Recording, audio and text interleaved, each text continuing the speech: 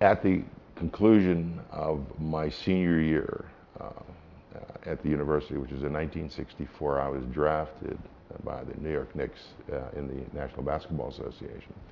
Uh, I went, and I was also at that particular time, I had also been accepted into Pitt School of Dental Medicine. So I had a dilemma, you know, do I go to the School of Dental Medicine uh, or do I go and play basketball for two years? Well, uh, I talked talking it over with my father. My father was not very encouraging as far as wanting me to play, you know, uh, professional sports. The professional sports was not paying what it does today. Uh, so uh, I went to New York uh, and negotiated my own contract because in those days we didn't have agents. And uh, we came up with a relatively good contract for that period of time. However, you know, the, the money was, was not that great. I wanted to play two years.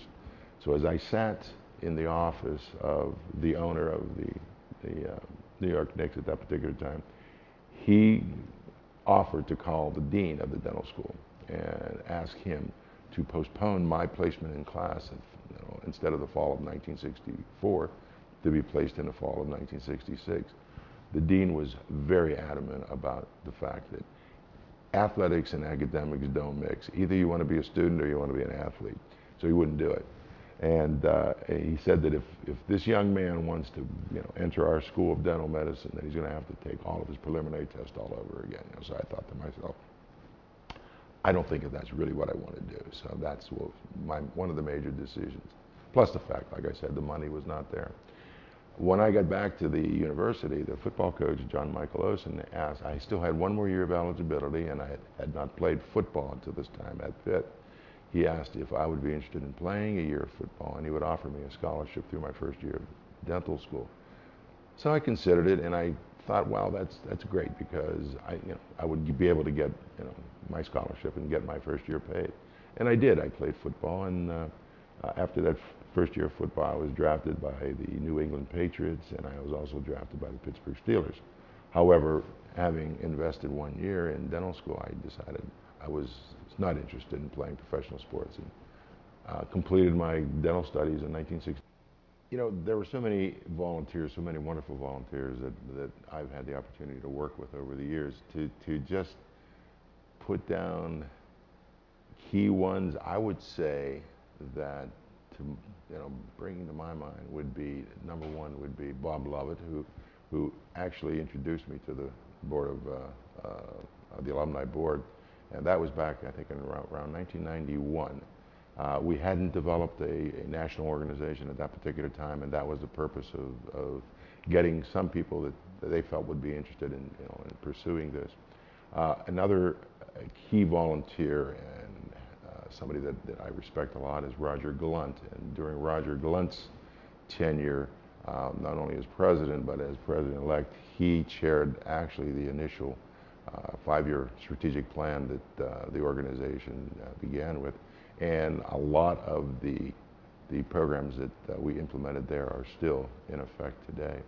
And I guess the third one would be my very good friend Andy Kuznetsky. And Andy was, was a great guy, a very gregarious uh, gentleman, and also as Roger and Andy and I are all Sigma Chi, so that was very important too.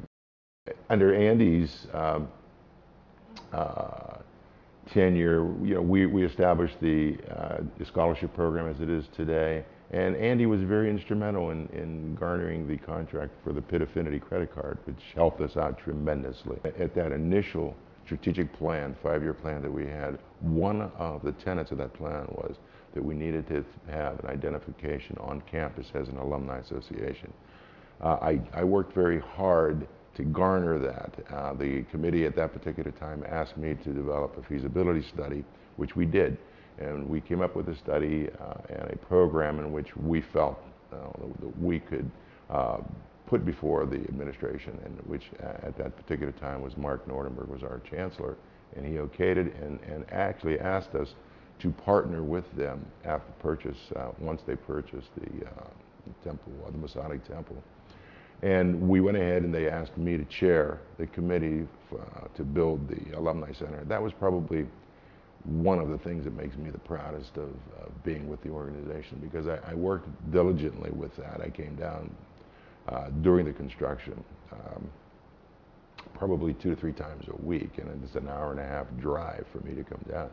But it was a, something that I really, really enjoyed, and we worked extremely hard at. And I think a lot of, also, a lot of credit has to go to our, our uh, original executive director, Lee Petier, in helping us not only to get our alumni association on, you know, on, uh, on track, but also he really helped immensely in the uh, construction of the alumni. Our problem is we, we're doing such a great job with so few people. We need to increase the numbers of that staff.